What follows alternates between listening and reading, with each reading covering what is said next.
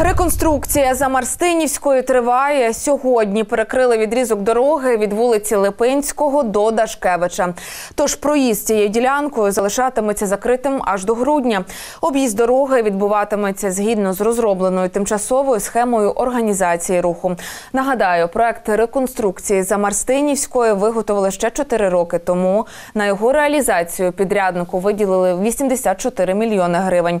Упродовж наступних майже двох років там повинні прокласти трамвайну колію, колектор і водопровід. Також оновлять дорожнє полотно та встановлять освітлення на вулиці.